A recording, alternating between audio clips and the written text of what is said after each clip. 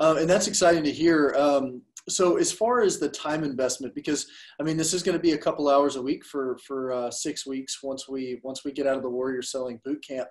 Um, so how tell me a little bit how you feel about that time investment. I mean, obviously you, you're thinking it's worth it um, to make that time investment. So what um, you know what what kind of value do you see in investing a couple hours a week in your in your team? So I'm in a business coach group that stresses um, work on your business, not in your business. Um, and I think it's something that gets forgotten.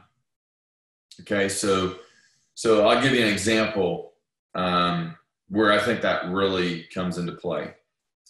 The more organized you are about any business you do, but you know specifically we're in the construction business, and if you're not organized, things don't go well, right? I mean, if you're not making this call when you're supposed to, having this sub here on this day at this time, it it messes up the next person in line. So in construction, it's very crucial that you're organized. And what happens is in construction, and I've seen this and, I, and I'm guilty of it. The busier you get, um, I make it happen. Okay, I, I, I refuse to fail. Okay, so when when we're we get more than we're organized to do, I work till 2 a.m. if it has to happen, right? I just get it done and I'll make it happen. But that's not um, the best way, maybe the most profitable way, the most efficient way to do work. And so, um, you know, we've really stressed recently on implementing a PO system, um, using a scheduling software.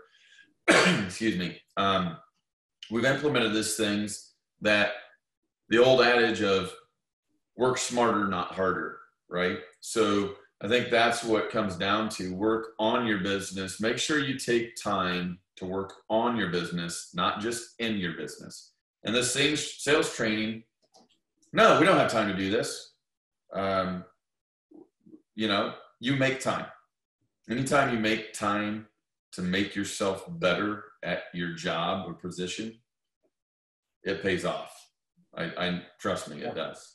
Right. Absolutely. I love that. That's, I, I think so too. Hard work pays off, as they say, right? So, yeah,